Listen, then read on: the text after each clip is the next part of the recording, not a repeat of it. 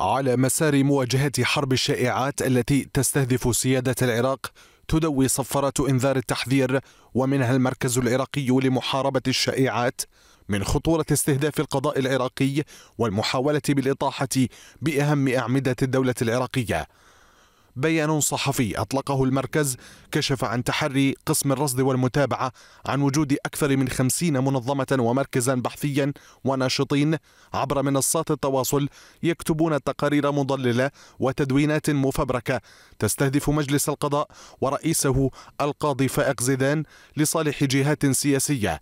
وفتح الباب أمام استهداف أياد خارجية للتقليل من شأن واستقلال مهنية السلطة القضائية.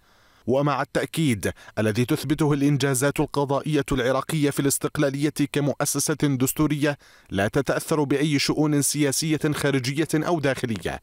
إلا أن المركز المتخصص برصد الشائعات يحذر من أن تلك المنظمات تعمل لصالح أجندات وجهات سياسية تضررت مصالحها من قرارات القضاء وهي تعمل بشكل مدروس للتضليل ومحاولة المساس بسمعة القضاء وصناعة التشكيك بثقة المواطن والمجتمع الدولي عبر صناعة رأي عام وهمي بالتزامن مع حراك جرى مؤخرا مثل تدخلا سافرا بحسب سياسيين بالشأن العراقي الداخلي.